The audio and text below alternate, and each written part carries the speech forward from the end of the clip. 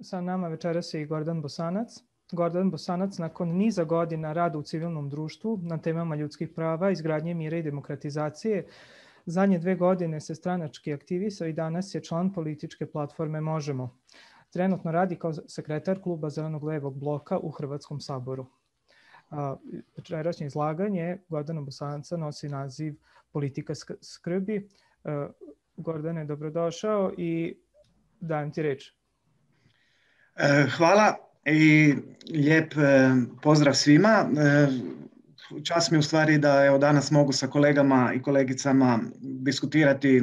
još, još jedan put o temi ove krize i šta nam ona sve nosi i odnosi. I pozdrav svima koji nas gledaju. Ja u stvari ne vidim koliki nam je auditorij, ali eto, svi koji nas gledate i slušate, dobro večer. Moje izlaganje će nekako više biti iz ove perspektive i ove uloge koju sam dobio, odnosno bacio sam se sam u nju, a to je da se pokušam svrnuti na to kako se krizom može nositi, upravljati ili gubiti i ne upravljati iz pozicije jedne male političke stranke koja je evo napravila neki rezultat trenutno sada na zadnjim parlamentarnim izborima u Hrvatskoj i imamo jedan klub zeleno-ljevog bloka od kojeg čini sedam zastupnika i zastupnica, to su tri stranke i nezavisni zastupnik.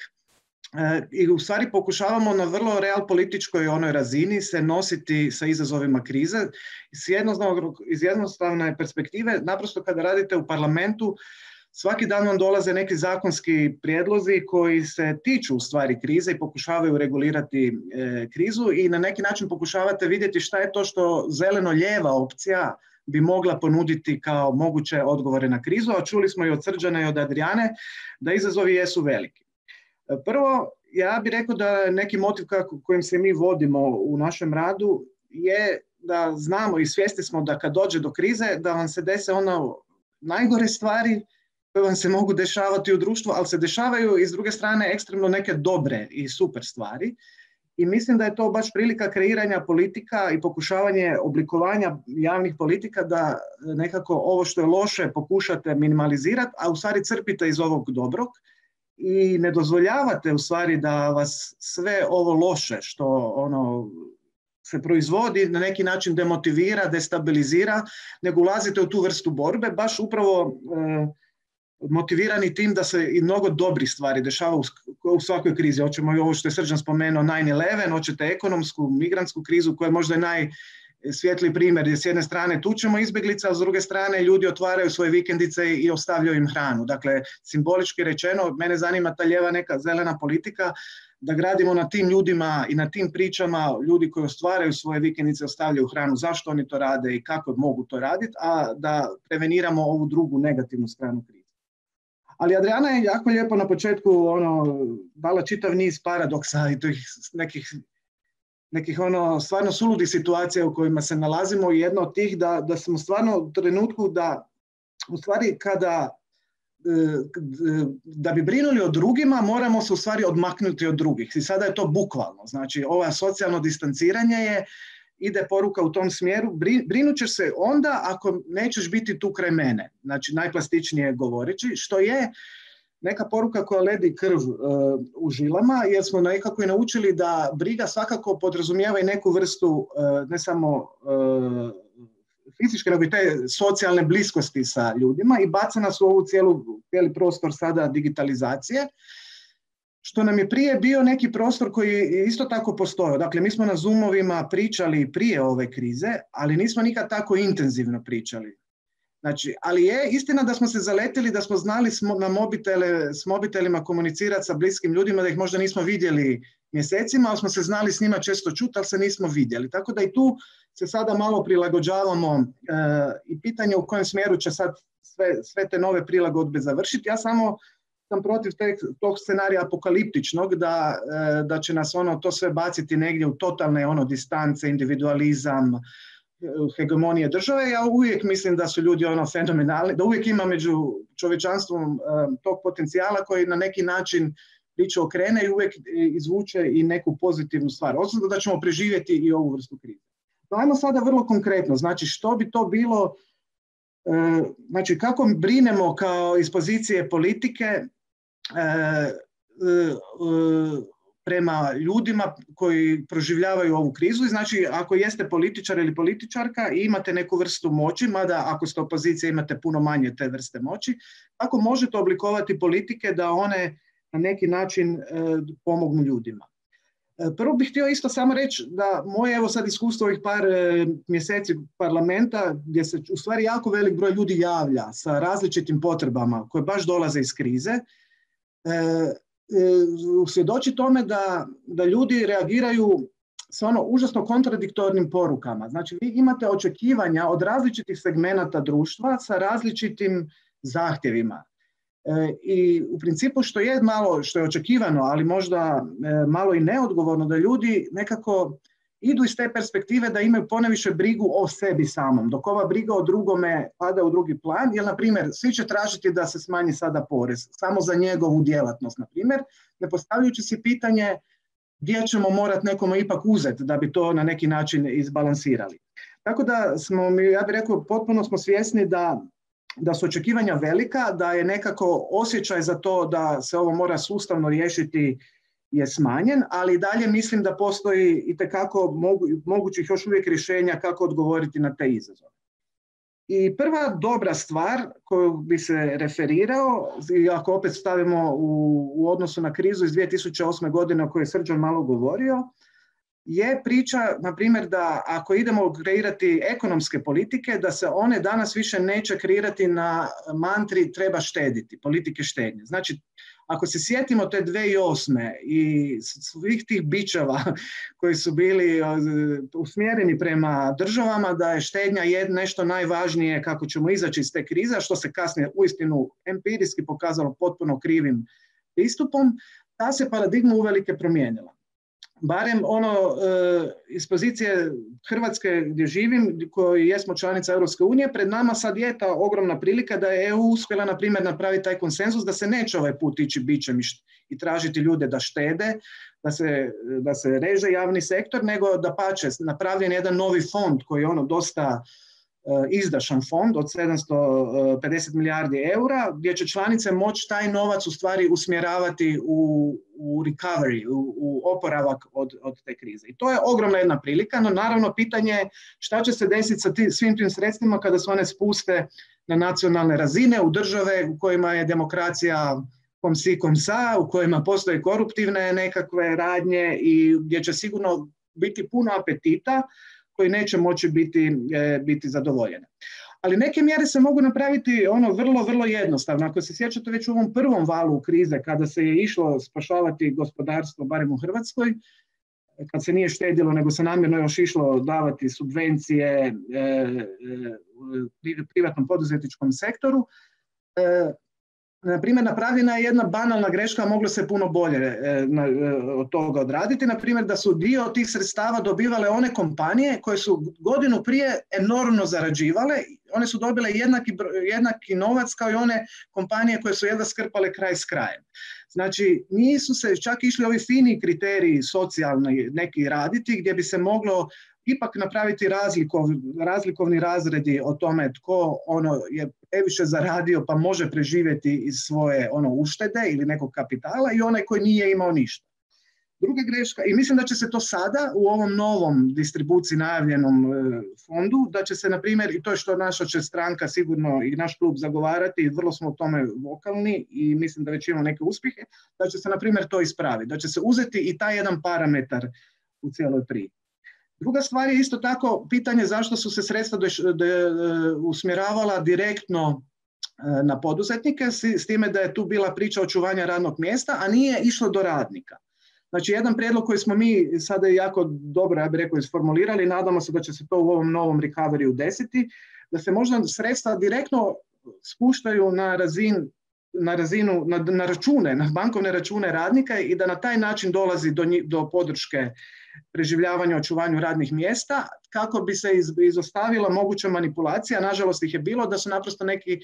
dijelovi privatnog sektora, ne svi, ali jedan dio je, uzeli, uzeli ta sredstva i nisu dalje e,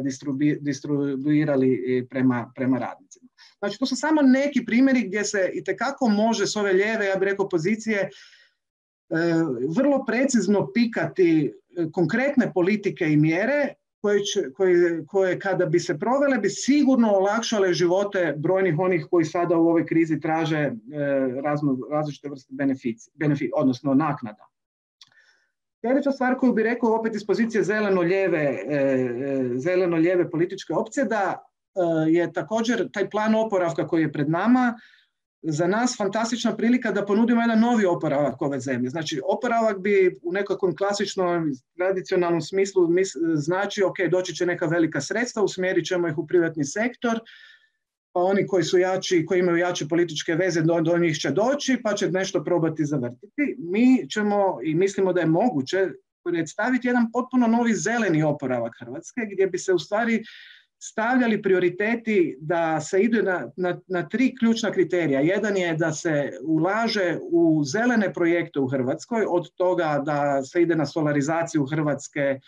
da bude veća učinkovitost u obnovi zgrada i tako dalje. Znači stvarno u, u one ekološko zelene projekte koji su nekakva svakodnevnica Europske unije, što je u Hrvatskoj malo onako science fiction,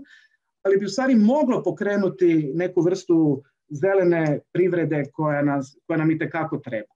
Onda drugi veliki segment gdje mislimo da postoji prostora je da se, da se ulaže puno više u digitalizaciju.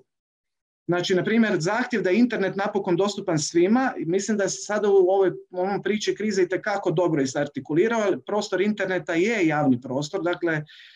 da ga mi danas plaćamo naknade providerima, kad ne možemo više na javne trgove, nema po meni više sumnje da ovi prostori, cyber prostori moraju postati javno dostupni prostori i da postoji sada snažna argumentacija za to. I u tom smislu mislimo da se novac može ulagati u tu vrstu e, digitalizacije infrastrukture i tako dalje. Sad još tu ima i digitalizacija javne uprave i tako dalje.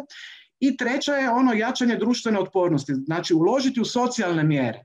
što bi se činilo ovako na prvu da u stvari bacaš novac, jer kao šta ćeš sad socijali nekako ono, namirit ćeš socijalu od koje nema ništa, što je naravno potpuno pogrešan način e, razmišljanja, nego upravo mi vidimo da ono smanjenje prekarnih radnika, e, da podrška samohranim roditeljima, baš ono rad sada sa osobama sa invaliditetom je neka vrsta prilika gdje treba otići taj novac koji više nije, kojeg ne štedimo, nego ćemo ga sada uložiti i u njega ćemo usmjeravati u, u, u te cilje. Na primjer, mi ćemo se založiti isto tako baš kontra sekuritizacije, da je ovo sada šansa da idemo jačati, na primjer, sustav civilne zaštite koji nam se raspao, koji u stvari ne postoji, koji je ono fiktivan i tu se pravimo da postoje nekakvi štabovi, stožeri civilne zaštite, to ništa ne postoji. Mislim, to je ono dio ekipe koje se tu i tamo e, druži i donosi neke odluke, gdje baš vidimo da bi kroz ova nova ulaganja mogli, na primjer, jačati te sustave civilne zaštite, baš kao kontraargument moguće sekuritizacije dugih cijevi na ulicama eh, i nadzora građana kada i kako se kreću u pandemiji. Tako da eh, neću sad proći kroz sve ove plane, točke plana zelenog razvoja koje ćemo vrlo brzo i predstaviti, u stvari vidi se koliko postoji prilike koje više nisu tako ni science fiction. Znači kada danas s njima dođete na stol u političku debatu,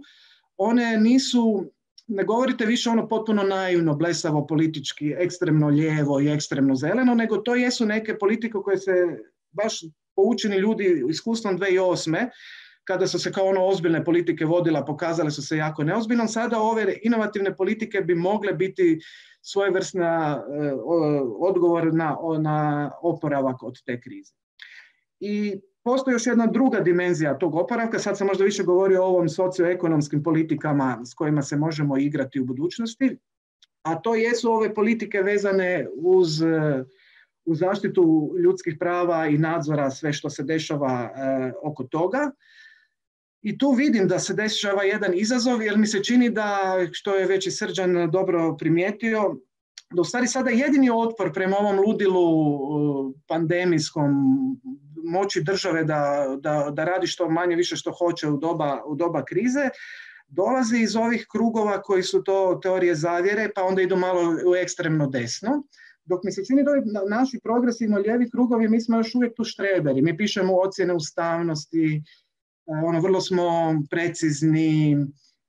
nekako na ulicu nećemo pozvati ljudi jer bojimo se da će zaraziti, osjećat ćemo se neodgovorno, bojit ćemo se da se ne brinemo o ljudima, dok druga strana s tim nema problem.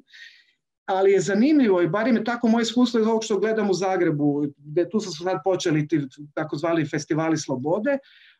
većina ljudi koja dolaze na tu vrstu prosvjeda uistinu jesu ono normalni obični ljudi, oni nisu ideološki, ja bih rekao, svrstani i opterećeni, osim što su organizatori ti koji su bliski tim 5G teorijama zavjera i tako dalje. I tu, se, tu je stvarno sada jedna ogromna opasnost da će ta vrsta strahova i, i, i poruka povući ljude malo ne malo, malo puno u ekstremno desno e, i to teorijsko-zavjerske krugove. I mislim da, da ćemo tu možda izgubiti dio ljudi ako nećemo moći odgovoriti baš s ovim konkretnim politikama, socijalnim mjerama